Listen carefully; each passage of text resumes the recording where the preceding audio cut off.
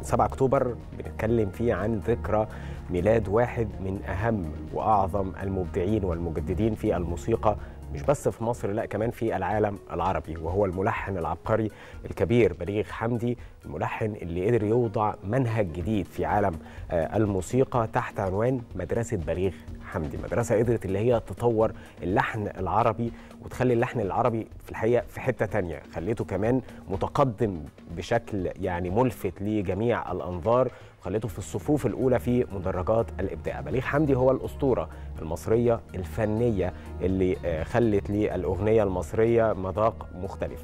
لو بنتكلم يا جماعة عن بليغ حمدي فبنتكلم على أغاني كتيرة جدا.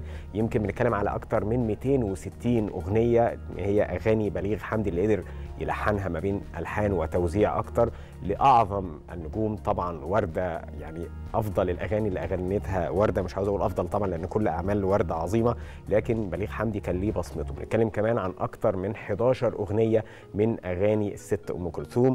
وغيرها من الأغاني. فنان قدر يجمع ما بين الرومانسية الأغاني الرومانسية وأيضا الأغاني الوطنية وكمان الأغاني الدينية. يعني بليغ حمدي. الحقيقة يمكن أنا من الناس اللي بتحب الموسيقى قوي وبحب الأغاني القديمة جدا. فكل لقيت إن أنا في كام أغنية كده يعني ليهم تيمة معينة أو ليهم جملة موسيقية معينة اكتشفت إن أغاني بعينها كده هي اللي بتبقى المقربة لقلبي لما برجع أبص بقى مين ملحن الأغاني دي. بلاقي بليغ حمدي يعني ثلاث أرباع الأغاني فعلا القديمة اللي إحنا بنسميها الأغاني القديمة بكتشف إن هي ألحان بليغ حمدي بليغ حمدي قدر إن هو يجمع ما بين محبة كل الجمهور بكل طبقاته ألف ألحانه حتى من التراث الشعبي من الشوارع والحواري. يمكن حتى لما كان ابتدى تلحين كان هو يعني كان هو شايف إنه لا أنا مش مش حابب إن أنا ألحن الأغاني أو مش حابب الأغاني الطويلة قوي هو كان أكتر بيميل للأغاني القصيرة إلى حد ما وقتها طبعا مع إنه كان في الوقت ده الأغاني السائدة هي الأغاني الطويلة جدا اللي بتاخد وقت طويل جدا. هي يمكن حتى لو بصينا قال إيه عنه أهم الفنانين في الوقت ده طب تعالوا نشوف كده عبد الحليم حافظ قال إيه. عبد الحليم حافظ قال عنه أمل مصر في الموسيقى. ووصفته أم كلثوم وقالت عنه إنه نهر متدفق هادر من الأنغام الجميلة. طيب محمد سلطان قال إنه كان إنسان وفنان فوق العادة وألحانه بتتكلم عن موهبته.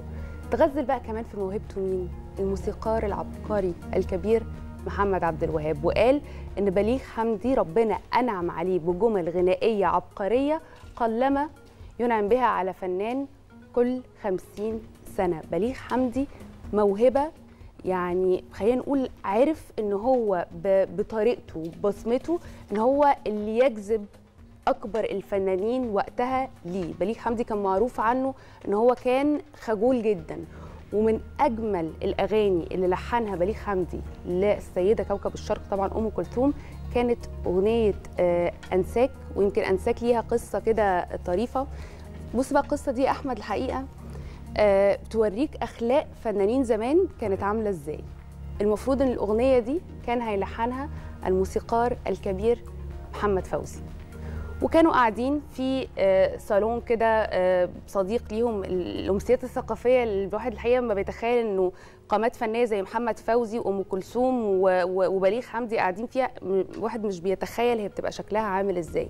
بس كان المفروض إنه كان محمد فوزي اللي هيلحن الأغنية دي وكانت بالفعل أم كلثوم موجودة وخرج محمد فوزي لسبب ما بره الأوضة فبليغ حمدي شاف الورق وقرأ كلمات الأغنية وقعد يدندنها. دخل عليه محمد فوزي وسمع لحن الأغنية بتاعت أنساك. راح مكلم أم كلثوم وراح قال لها إنه بليغ حمدي في ملحن اسمه بليغ حمدي. لحن الأغنية دي أحسن من اللحن اللي أنا في دماغي أو متصوره أو حتى بدأت ألحنه للأغنية دي. واستاذنها إنه كمان ما تقولش لبليغ حمدي إن الأغنية دي كان المفروض اللي لحنها محمد فوزي عشان بليغ حمدي كان خجول جدا وكان هيرفض إن هو ياخد الأغنية دي. وخرجت أنساك ده كلام أنساك يا سلام من أروع مغنه كوكب الشرق أم كلثوم. يا سلام يا سلام على العظمة ويا سلام على الاخلاق أخلاق الفنانين والقيم اللي يمكن لحد ما ما بقتش موجودة بشكل كبير قوي يا جمانة. مش بس أنساك لا ظلمنا الحب. بنتكلم على سيرة الحب كل ليلة بنتكلم على بعيد عنك فات الميعاد. أغاني كتيرة بقى حدث ولا حرج. يعني أي أغنية كانت ملفتة في جيل العباقرة هتلاقي بصمة بليغ حمدي كانت موجودة طبعا. فيها. يمكن كمان الحب اللي كان ميادة الحناوي. لا بص بقى يعني بليغ حمدي لما تيجي وردة. ما في أغاني ينفعش كتير. بليغ حمدي ما ينفعش تقول تيجي تقول أنا بحب له أغنية كذا. لكن ممكن تقول مثلا بحب البليغ حمدي مع عبد الحليم حافظ كذا. ميكس. بحب العب- ال- البليغ حمدي مع شادية كذا. أقول لك على حاجة جمان أنا أنا لاحظتها بجد. يعني في ناس تقول لك إيه أنا بحب آه، الست أم كلثوم أكتر من عبد الحليم. ماليش في عبد الحليم قوي لكن بيبقى دايما دايما وهتلاقي الكل متفق على ده. لو في ناس ما بتحبش أم كلثوم وتحب عبد الحليم أو العكس هتلاقي إن في دايما أغنية أو اتنين مشتركة لكل منهم بيحبوها. هتلاقي بصمة بليغ حمدي فيها دي حقيقة. تخيل الفنان أول أغنية لحنها يعني مش أول أغنية كمان أول أغنية تخرج بقى للنور تشهره كانت تخنوه لعبد الحليم حافظ. أنا سكت. يعني أنت متخيل دي أول أغنية؟ أو أول أغنية يعني لعبد الحليم حافظ وتخرج للنور وتبقى ليها صدى جامد قوي؟ عارفة اللي هو يا سعد ويا هناء اللي هيلحن له؟ آه طبعا. بليغ حمدي طبعا. الموضوع بيبقى خلاص يعني أنت كتب للفنان ده النجاح. مش هقول لك كتب للأغنية ده كتب للفنان نفسه آه، النجاح. لو بصيتي على أعظم أغاني الفنانة الجميلة وردة هتلاقي بليغ حمدي ليه ده غير. بقى إن حتى يعني هو نقل الفنان طبعا العندليب عبد الحليم حافظ نقله لحتة تانية كان اللون بقى ال- الشعبي كان في وقت كان في وقت من الأوقات كانت صحيح. الناس عايزة تسمع الموسيقى الشعبي فتخيل لما عبد الحليم حافظ يغني شعبي مع بليغ حمدي يعني إحنا بنتكلم سواح مثلا بصي آه، في لحزب حاجات. في حاجات ليها قصص كتيرة قوي يعني زي القصة الشهيرة قوي برضو اللي حصلت ما بين النقشبندي رحمة الله عليه آه،. وبليغ حمدي ومولاي. الأغنية اللي لحد النهارده في أكبر المناسبات الدينية لازم تلاقي الأغنية دي شغالة.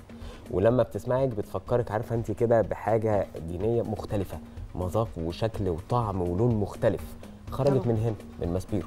يعني يمكن كانت قصة مختلفة وقصة كانت يعني ليها كواليس كتيره قوي وتفاصيل كتيرة. بس عارفة انت لما يجي قرار من الرئيس السادات أنتوا الاثنين هتعملوا حاجة مع بعض. تصرفوا يعني بليغ حمدي بكل الفن اللي بيعمله وكل الرومانسية والوطنية أيضا اللي بيعملها لا أنت هتعمل حاجة دينية. ويقعدوا مع بعض يحبسوا نفسهم مع بعض وفي الآخر يطلعوا لك مولاي. لا أعتقد قصص قوي. كبيرة طب يعني قوي. على فكرة بالمناسبة في ناس ما تعرفش كمان إن بليغ حمدي يعني آه موسيقى تصويرية الافلام مثلا شيء من الخوف. صحيح. وطبعا يا عيني على الولا كلنا عارفين الأغنية دي أو كلنا عارفين ال ال ال الأغنية دي تحديدا في الفيلم ده. أفواه وقرارب مسرحيه ريا وسكينة. صحيح. آه ومن ممكن بس أحلى أقول لك كمان على حاجة؟ بسم الله الله أكبر بسم الله. بما إننا بنتكلم على انتصارات شهر أكتوبر طبعا طبعا. يعني إنك هتافات بتتكلم على. مصر بقى بوابة الحلواني. كتير. لا كتير بقى. يعني كتير قوي. بالمناسبة هو اشترك كمان في إن هو يخرج فنانين لحد النهارده.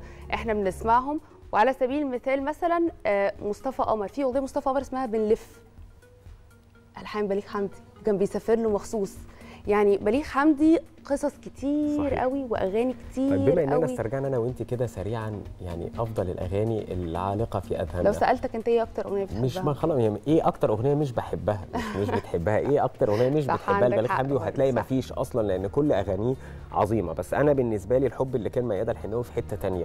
وبعدين كان أغنية برضه ليها كواليس اللي هو كان بيرد على وردة لما قالت مين؟ بليغ حمدي بعد قصة الحب الكبيرة اللي كانت ما بينهم فقرر اللي هو يعمل الحب اللي كان. أنا الحب اللي كان آه كتير أغاني يعني كتير ده. بالنسبة ليا وليك أنت إيه أكتر أغنية بتحبيها يعني بص أغاني كتير قوي بس أنا ممكن أقول لك إن أنا بوابة الحلواني أنا الأغنية دي بحبها جدا يعني تتر المسلسل ده أنا بحبها جدا اللي بنى بنى مصر آه، كان, في الأصل حلواني طيب حلوة أنا. يعني, يعني قلت. أغنية وجمان قالت أغنية يبقى إجابات السادة آه، المشاهدين آه، هننتظر إجاباتكم على يعني صفحاتنا على مواقع التواصل الاجتماعي عشان نعرف إيه أكتر أغنية أنتوا كنتوا بتحبوها من ألحان أو توزيع بليغ حمدي أتمنى أنتوا تنوعوا بقى عشان نسمع إحنا أكبر نلعبها. لهم في آه يعني نوعوا بقى عشان نسمع أكبر قدر ممكن من ألحان المبدع بليغ حمدي نصبح على حضراتكم جميعا. صباح الخير والسعادة عليكم. صباح الخير يا مصر.